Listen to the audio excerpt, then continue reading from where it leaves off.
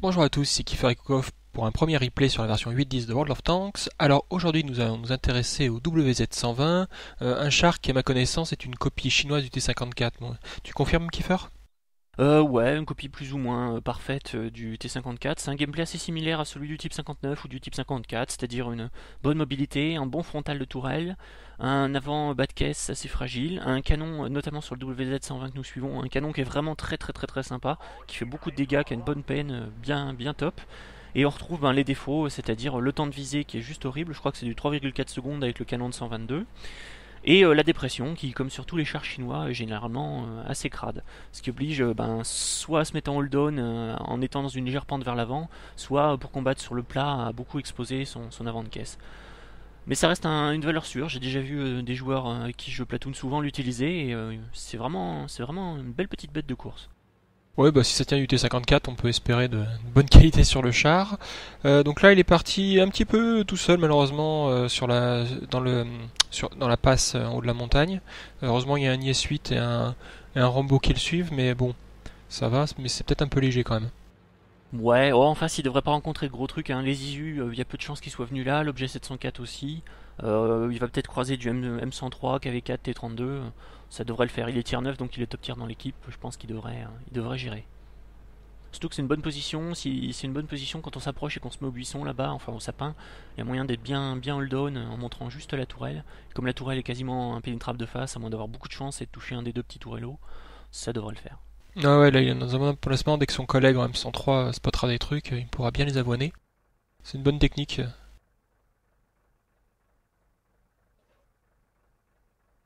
Par contre, ouais, son, équipe est pas très rapide à se déployer. Ils sont beaucoup encore en ville. Euh. Ouais, et puis il y a deux neuneux qui campent en H9 là, qui se sont mis au-dessus du spawn. C'est pas, c'est pas tip top. Généralement, ils sont assez inutiles de toute la partie, sauf au moment où l'ennemi vient caper. Mais à ce moment-là, il y a généralement un énorme. Euh, ouais, c'est déjà trop tard. La partie est déjà perdue, donc c'est jamais utile. Hein. Ah, joli alpha sur le canon quand même. Ah c'est du 440 de dégâts en moyenne avec 249 euh, et 340 de peine. La précision est pas exceptionnelle, du 0.38, ça fait le taf, pour un médium euh, ça va. Et ouais, c'est vraiment le temps de viser, 3,4 secondes qui est, horrible, et puis la dépression. Hein. dépression bah, là on la sent. là on peut le voir, euh, il n'arrive pas du tout à viser, c'est assez, assez chiant. Pendant que son équipe commence à sérieusement se faire étrier de l'autre côté. Voilà. il est tombé vite le tir 9. Joli dégâts, bien au-dessus du nominal. Ouais, il, a un peu de renfort derrière lui. Mm. Le Rambo. Ouais, bon le Rambo pourra pas encaisser mais il, aura il pourra mettre sa puissance de feu au service, ça peut le faire. Sauf s'il rush comme un mongol. Ouais, ben...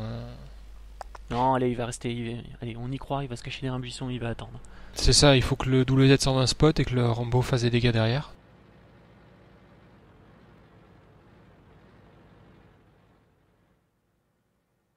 T32, Isu...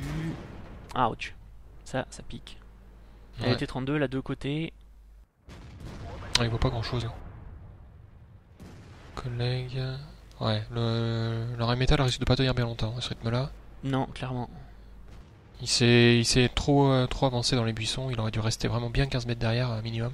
Ouais, il aurait surtout dû rester derrière le WZ. Ah, punaise de dépression de merde. Au moins. Voilà, il emmène pas au paradis. Ah, le tourello qui dépasse. ah là là, c'est horrible quand il essaye de faire les... Bon, il a pas fait un tourello, il en a fait un autre. Alors, en l'occurrence, c'était plutôt le côté de tourelle, depuis que la tourelle a été nerfée sur l'IS-3. Ah, ils sont nombreux là quand même. Ouais, mais l'avantage qu'il a, c'est qu'il pousse pas en fait. Il le laisse bien gentiment mettre du terrain. Oh, il oh, que ça passe ça. Ouais, c'est dommage. J'y croyais, j'espérais qu'il allait l'avoir en un tir, mais non. Ouais, enfin, c'est déjà bien qu'il euh, que le premier tir soit passé, hein, parce que c'était pas donné. Allez, allez, allez, s'il le défonce, il va sauver en plus la mise au Rambo. Parfait. Ouais. ça va, ils ont été déjà bien. ils sont tous à. enfin, celui-là est déjà à 35% de sa vie, donc ça va. Ils ont fait une erreur en poussant pas quand même, hein, les, les ennemis. Allez. Alors on le rappellera toujours quand vous êtes en supériorité numérique, même si en face de vous vous avez juste un joueur qui est bien meilleur que vous et qui a un char un petit peu plus puissant, euh, pousser est généralement une bonne idée. Parce que si vous y allez un par un, ben, le mec a un char supérieur, donc il va vous violer un par un jusqu'à ce que jusqu'à ce que vous perdiez. Donc ne mm. pas hésiter, il y a des situations où on peut faire le pleutre et se replier, c'est même euh, clairement indiqué sur de nombreux chars, et il y a aussi des situations où il faut savoir se sortir les doigts des fesses et avancer. Le Rambo était sorti, mais bon, il a eu du tweet. On a un peu l'impression qu'il n'y a que lui qui joue, parce que si tu regardes son équipe, euh, C'est pas ça pour l'instant. Ah, ils ont même un DTD qui a réussi à faire un team kill. Joli, j'avais pas repéré. Ouais, collègue de qualité. Bon, Tigre 1, on va dire qu'il y a Pas, trop de challenge. menace, hein. Même, Ouais. même le bas de caisse, il va un peu galérer à le percer. Voilà. Il s'avance pas trop au cas où il y aurait un vieil 18 derrière. Effectivement, c'est le risque si le tigre l'emmène sur une menace plus grosse. Ah, dommage. Bah, il va falloir qu'il back là parce qu'ils sont en train de caper la base. Donc, juste il finit le tigre et il va, pou- il va devoir faire demi-tour, je pense. Ouais. Je sais pas s'il a intérêt à aller sur le tigre ou directement à baquer, c'est peut-être plus intéressant. Ouais, c'est ce qu'il fait a priori. Euh, Parce que le tigre était plutôt euh, peu offensif, donc il s'est barré. Et à mon avis, il l'aura pas dans les fesses. Enfin, j'espère. Bon, un Ouais. seul mec dans le cap. Euh, ah, qui est sorti du cap. Bon, bah, tout seul contre 7 chars ennemis. Ça va le faire, grave. Ouais, tranquille. Bon, au moins, il a pas un coéquipier AFK euh, qui, qui servira à rien, qui le priverait d'une éventuelle Koloba 9. C'est déjà ça. Oui, en même temps, s'il y avait un AFK, il aurait été sorti par l'IS depuis longtemps. Oh la vache, il a eu du bol de le spotter comme ça. Belle ligne de vue. Joli. Clean. contre 6. Ouais. Le problème, c'est les deux tiers neufs quand même. Ah mais ils sont, ils sont. Alors là, aller dans la base et caper, c'est vraiment pas une très bonne idée quand on est là. hein. Tu peux quasiment spotter tout le, voilà, tout le cap. Ouais, il est quand même bien couvert. Il a tapé le dessus de, de tourelle. Allez, il peut en remettre une là, ça devrait être bon. Faut qu'il arrive à toucher le petit tourello. Euh, Il vise le plat de tourelle, il a raison comme il est légèrement au-dessus. Joli. 1 contre 5. Ah, et il y en a d'autres qui arrivent à le spotter, visiblement. Bon, l'avantage étant que dans la position où il est, il- l'artillerie pourra pas l'embêter. Surtout Enfin, qu'il y en a pas. l'artillerie qu'il n'y aurait pas, oui, pourrait pas l'embêter. Bon, qu'est-ce qu'il va faire? Est-ce qu'il va faire le tour? C'est tendu parce que s'il rentre à 2 dans le cap en 45 secondes, ça va faire un petit peu juste. D'un côté, euh, Il a un chat rapide quand même. c'est ça, et puis surtout ses adversaires. Oh tiens, je ne comprends pas, ils rentrent tous les uns après les autres dans le cap et ils meurent tous. Tiens, comme c'est curieux. Ah, Monsieur Lisu. Monsieur qui a fait une petite fourberie. Ouais, C'est pas passé loin ça. c'est indiqué. Allez, Voilà. Et Si je dis pas de bêtises, il n'a pas encore utilisé le gold, donc euh, c'est très bien. euh, Ouais. de sa part pour l'instant. Faut dire que vu la pénétration, c'est pas vraiment nécessaire. Allez, ouais, Lisu il est mort, oh nickel. on peut plus rien faire. C'est passé. Voilà. Parfait. Alors, est-ce que ses adversaires vont en profiter pour les caper pendant qu'il était occupé, ou est-ce qu'ils sont restés euh, pleutres? Il y en a au moins qui est parti caper. Ouais, mais ils ont attendu trop longtemps. Ils auraient dû, euh, dès qu'il était spoté, se jeter dans le cap. À deux, ça pouvait le faire. Mais là, en plus, j'ai l'impression qu'il est tout seul. Et ils ont attendu qu'ils défoncent leurs camarades, donc c'était pas très très bien joué. Bon après je pense que c'est surtout les euh, probablement les, les trois qui avaient été spotés à, à la pointe en J4. Mais le temps qu'ils se ramènent, C'est ça, le, le temps qui traverse toute la carte. surtout le T28 Prod qui est pas connu pour sa rapidité. Non, puis bon, euh, les deux autres, c'est pas non plus euh, des bêtes de course. Bon, en tout cas, on peut voir la bonne puissance du canon. Un canon très très sympa qui fait vraiment une des grosses qualités du char, un des gros avantages. Ouais, bah très très belle alpha. Et il a été percé une fois sur le côté de cette tourelle et une fois sur son bas de caisse. S'il arrive à se. Approcher discrètement. Ouais, c'était ça. J'allais dire à s'infiltrer, mais en écrasant des armes, c'est peut-être moins discret. Bon, de toute façon, là, il est obligé d'y aller un peu rapidement. Pour peu qu'il y en ait un deuxième qui rentre dans le cap, ça va vraiment être tendu. Autant qu'ils prennent les, les devants.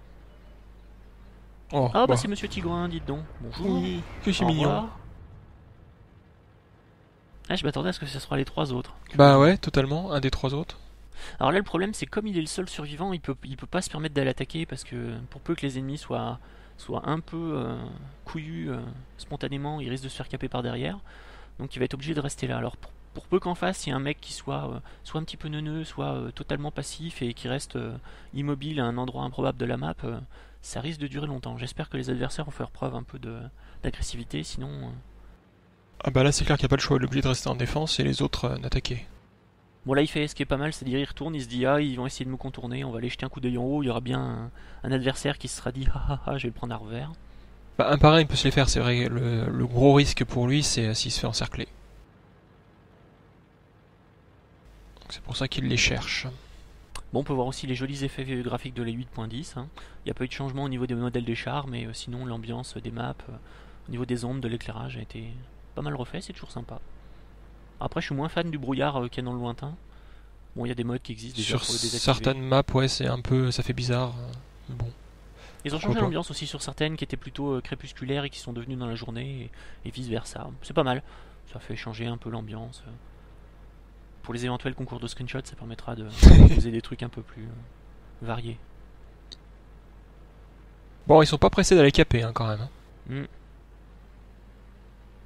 Ouais, il évite les, les éléments de décor qui pourraient trahir sa présence. Mm. Ah, Monsieur du Ah. M103. Monsieur MacGyver 5704. J'espère qu'il n'y a pas eu déjà 5703 MacGyver avant.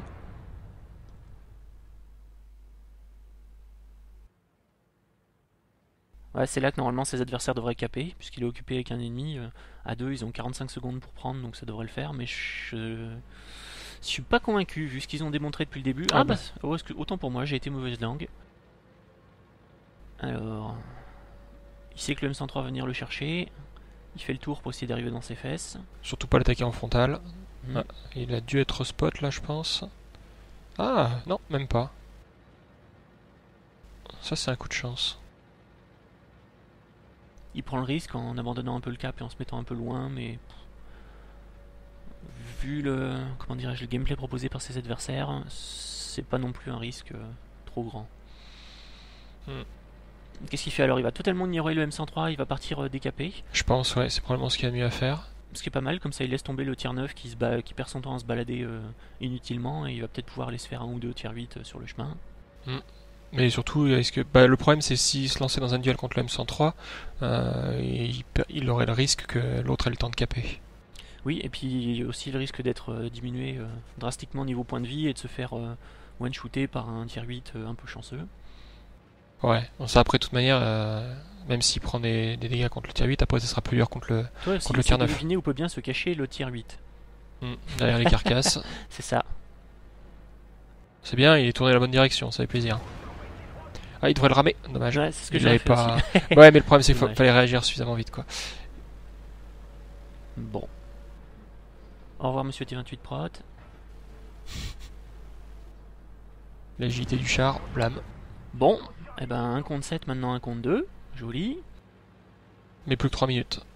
Ouais, ouais, ouais. Là, il va falloir. euh, il faut, faut qu'il élimine très vite le M103 et qu'il qu'il essaie de trouver le KV4. J'ose espérer que le KV4 est pas AFK à leur spawn parce que sinon ça va faire vraiment, vraiment juste. Non, le KV4 a été quand même été spoté en K5 donc pour la dernière fois, donc euh, il vit, il est quelque part. D'accord, ouais. Comme la 8.10 est sortie, j'ai pas encore remis les modes qui indiquent notamment les dernières positions des chars euh, vus. Je suis un peu tout nu, comme on dit. Pas au sens propre du terme, hein, je vous rassure. Voilà, n'allez pas imaginer des visions d'horreur. euh. Ouais. Alors, le KV4 euh, full life. euh, Ouais, déjà un peu moins full life. Ah, ça va, il utilise déjà pas sa caisse plus sa tourelle pour tourner. C'est bon signe. Allez, allez. En même temps, il est rouge. Allez, il va se foirer là, il va tirer dans la tourelle. Côté, Même pas. Ouais. Le KV4 aurait dû essayer de reculer en mettant son cul face à la mer, comme ça au moins il était sûr que le char le contournerait pas. Il serait capable de tout à l'eau. Ah, Hein, il a tenté le, La jointure. de tourelle, c'est pas passé. Mais il tire à la hache l'autre, c'est pas possible, il lui a mis 70 points de dégâts. C'est bien possible. En même temps, il est rouge, hein, euh, selon XVM, donc il n'y a pas de. Ça m'étonnerait pas. Ouais. Ouais, il lui a mis 70 points de dégâts quand il a tiré, donc je pense qu'il tire à la hache. Alors maintenant, le joueur qu'on suit est réduit aux munitions euh, gold. Gold, ouais. Bon, eh ben, il a pas le temps d'aller caper, donc Euh, euh, il va falloir qu'il trouve le M103. Ah bon, voilà, ça Ah va être bah. facile à trouver.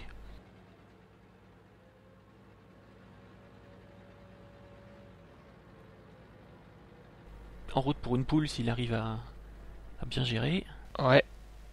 Bon, après, il faut qu'il se méfie parce que l'autre a quand même euh, plus de points de vie que lui. Bon, et moi, il a l'avantage, il sait où est l'autre. Il essaye de. Oula. Attention, possible fail en, Ouais, en arrivée. Ah, le côté de tourelle. Ah non, dommage. trop tard. Ouh. Ouais, avec le Blue Gold, c'est rentré euh, deux phases directes. Ouais, et du bol que l'autre digne par contre? C'est bien, Bah, ça il rééquilibre les chances. sa tourelle, hein, globalement. hein. Il est, le, le bas du char était quand même bien caché euh, du, du char chinois, là. D'accord. Allez, encore un digne, il peut en profiter, le temps que le M103... C'est là qu'on voit vraiment la dépression horrible, hein. il, est, vra- il est vraiment obligé de s'avancer à mort pour espérer euh, toucher la caisse. C'est ça, avec n'importe quel autre char, il aurait pu rester tranquillement euh, à couvert. Bon, normalement là c'est... Ah, c'est bon. Sauf s'il se fail, mais euh, il faut vraiment qu'il assure le prochain tir là. Ouais, le problème c'est que le prochain tir sera pas suffisant pour le terminer. Voilà, et. Ouh, Alors là, ça c'est coup de. Ouais. Ouais, il a intérêt à bien mettre la marche arrière et là ça va se jouer à très très peu. Il est en Ouais. quoi Il est toujours à la gold. Allez, allez, allez, allez. Il n'y a Ah, plus que ça de manière. Alors ça s'est Ouais. pas joué à beaucoup quand même sur le dernier tir. Ah ouais, elle était, elle était serrée, c'est le moins qu'on puisse dire. Ah, une euh, très très très jolie partie. Alors, euh, les, les adversaires ont pas été vraiment à la hauteur, mais quand même, ouais, faut la sortir là. 10 kills en étant en tier 9 contre du tier 8, tier 9. euh, non, euh, vraiment beau beau taf de sa part. Alors, en plus, avec une collection de, médailles assez impressionnante. euh, la médaille de l'Anglade, comme il a pris très très cher et qu'il a réussi à faire des dégâts derrière. La médaille de poule, comme il a fait 10 kills. Mur d'acier, Top Gun, Defender et Kolobanov, comme il était seul contre 7. Donc, en plus, c'est même pas une petite Kolobanov, c'est une grosse Kolobanov, donc c'est nickel. Ouais, ouais, ouais. Et puis euh, du coup, bon, euh, parti à quasiment 2000 points d'XP euh, de base. Non, il a bien géré, il a bien géré parce que même si les ennemis étaient pas au top, faut quand même, faut quand même réussir à bien lire la map et à pas trop faire de la merde à 1 contre 7 parce que on est toujours à la, à la merci d'un, soit d'un tir chanceux, soit d'une soudaine cohésion renouvelée dans l'équipe d'en face qui d'un coup se décide à pousser euh, t'as comme un accord. Donc non, franchement, il a bien fait le tap et puis on a bien vu la force du char, c'est-à-dire euh, quand vous êtes en hold-on, la tourelle impénétrable de face, euh, bonne maniabilité qui lui a permis de bien se redéployer sur la map, canon vraiment très très sympa, un petit temps de reload un peu long mais bon, ça, ça se gère hein, vu les patates qu'il envoie. Et puis ben ouais, la dépression horrible et le bas de caisse vraiment fragile.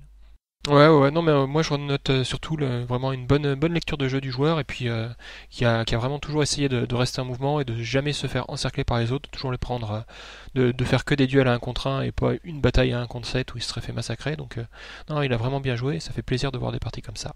Ouais, beau travail de sa part. Ah ouais. Eh bien, merci de nous avoir suivis, à bientôt pour un nouveau réplique commenté.